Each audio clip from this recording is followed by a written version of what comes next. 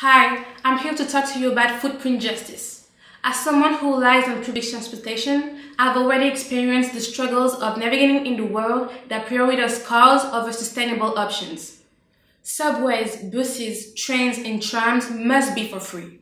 Imagine if every day you opt for public transportation, you were paid for your low footprint conscious choice.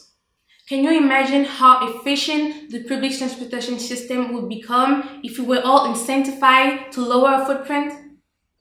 Let's demand this incentive for sustainable transportation option by taxing big oil companies. It's not just a dream, it's a necessary step toward a fairer future. Big oil companies continue to record massive profit while the planet is suffering their unchecked pollution. It's unacceptable. We have to demand them to pay for everything they are causing and all these companies accountable for what they are doing.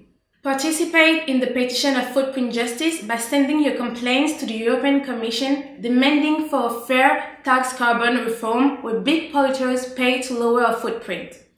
You can send printed postcard or email via the website footprintjustice.com. Think about the impact of our actions for the future generation. We're not only fighting for ourselves, but for a healthier, cleaner, and more equitable world for everybody. Together, we have the power to make a difference. Let's raise our voices, demand change, and work toward a future where sustainable transportation is free and incentivized for everybody. Thank you for joining me in this fight for footprint justice. Together, let's make our vision of a fair carbon tax in Europe a reality.